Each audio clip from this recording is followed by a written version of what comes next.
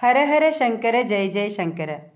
தஞ்சாவூர் மாவட்டம் திருவையாறிலிருந்து கும்பகோணம் போகிற வழியில் சுமார் அஞ்சு கிலோமீட்டர் தொலைவில் ஈச்சங்குடின்னு ஒரு கிராமம் இருக்குது காவிரியோட வடகரையில் இருக்கிற இந்த ஊருக்கு ஒரு பெரிய பெருமை இருக்குது நடமாடும் தெய்வமாய் திகழ்ந்த காஞ்சி மகானை பெற்ற தாயார் அந்த புண்ணிய பூமியில் தான் பிறந்தா. ஈச்சங்குடி நாகேஸ்வர சாஸ்திரியின் மகள் மகாலட்சுமி வேதங்களையெல்லாம் கற்றறிந்த பதினெட்டு வயசான சுப்பிரமணியத்துக்கும் ஏழு வயசு மகாலட்சுமிக்கும் திருமணம் நடந்தது.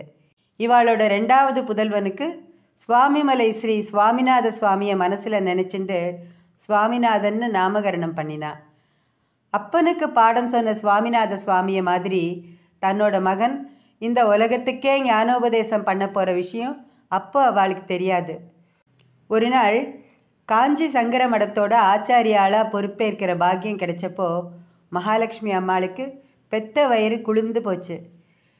காஞ்சி ஸ்ரீ சந்திரசேகர சரஸ்வதி சுவாமிகள்னு திருநாமம் பெற்றார். தேசமெல்லாம் யாத்திரை மேற்கொண்டார். எல்லாருக்கும் ஆசீர்வாதம் பண்ணினார்.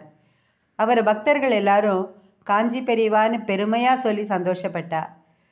ஒரு தடவை மகா பெரியவா ஆந்திர மாநிலத்தில் நகரியில் முகாமிட்டு இருந்தார் அப்போ கும்பகோணத்தில் இருந்த அவரோட தாயார் மகாலட்சுமி அம்மாள் சிவபதம் அடைஞ்சிட்டாருங்கிற தகவல் அவருக்கு தெரிஞ்சுது.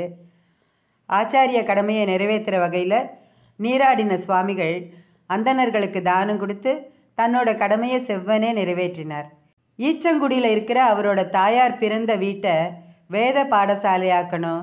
அந்த இடத்துல எப்பவும் வேத கோஷம் முழங்கிட்டே இருக்கணும்னு பெரியவா ஆசைப்பட்டார். காலங்கள் உருண்டு ஓடித்து தொண்ணூற்றி மூணாம் வருஷம் காஞ்சி மகா பெரியவாளோட பக்தரான ஹரி பெங்களூர்லேருந்து அவரை தரிசனம் பண்ணுறதுக்காக வந்திருந்தார்.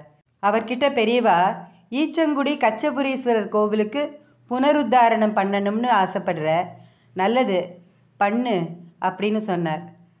அதை கேட்டதும் அவர் அப்படியே நெகிழ்ந்து போயிட்டார். அந்த கோவிலை பற்றியும் ஸ்ரீ கச்சபுரீஸ்வரரை பற்றியும் ஸ்ரீ காருண்யவல்லியோட அளப்பரிய கருணை பற்றியும் விரிவாக சொன்ன மகாபெரிவா சின்ன வயசில் அந்த கோவிலுக்கு போனதை பற்றி அங்கே வேதங்கள் எல்லாம் கத்துண்டதை பற்றியெல்லாம் விவரமாக சொன்னார். என்ன நினச்சாரோ சட்டுன்னு அந்த அன்பர்கிட்ட ஒரு உபகாரம் பண்ண முடியுமோ? அப்படின்னார்.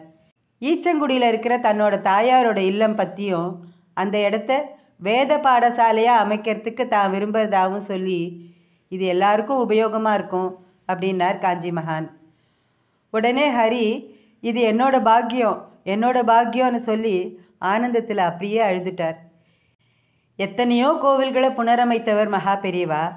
பூமிக்குள்ளே மறைஞ்சு கிடந்த கோவில்களை கூட அடையாளம் காமிச்சு அந்த கோவிலை வழிபாட்டு ஸ்தலமாக மாற்றி அருளிய மகான். தான் சம்பந்தப்பட்ட எண்ணம் தன்னோட தாயார் வாழ்ந்த வீடுங்கிறதால இத்தனை வருஷங்களா யார்கிட்டயும் சொல்லாமல் இருந்திருக்காரேன்னு ஸ்ரீ ஜெயேந்திர சரஸ்வதி சுவாமிகளும் ஸ்ரீ விஜயேந்திரரும் வியந்து போய் பெரியவாளை பார்த்தா. அதுக்கப்புறம் என்ன? அந்த வீடு விலைக்கு வாங்கப்பட்டது. அன்பர்களோட கூட்டு முயற்சியில் வேத பாடசாலை ஆரம்பிக்கப்பட்டது.